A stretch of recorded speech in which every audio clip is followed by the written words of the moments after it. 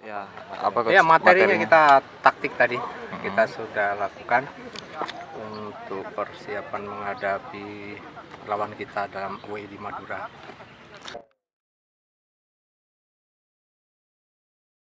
Kualitas eh, mereka individu pemain tidak kita ragukan. Hmm. Ah, semuanya memang pemain-pemain terbaik di posisi mereka ya. Jadi mereka punya pemain-pemain sayap dan gelandang yang skillful, juga strikernya. Lihat aja ada kiri ada Greg Nwokolo, kemudian ada Bayu Gatra, ada Engel Betsani. Kadang-kadang si Zarahan maupun Maitimu pun disetting main di kanan. Di gelandang ada Zarahan, Hmm. kita tahu.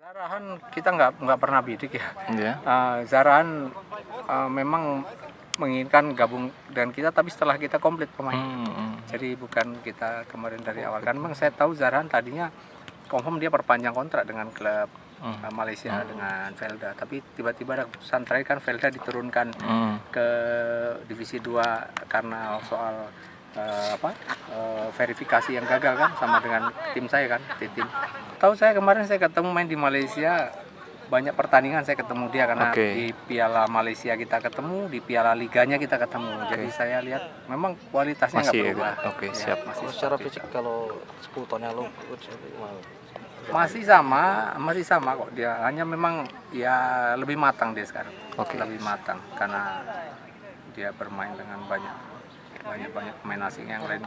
Berkualitas lebih matang lebih pintar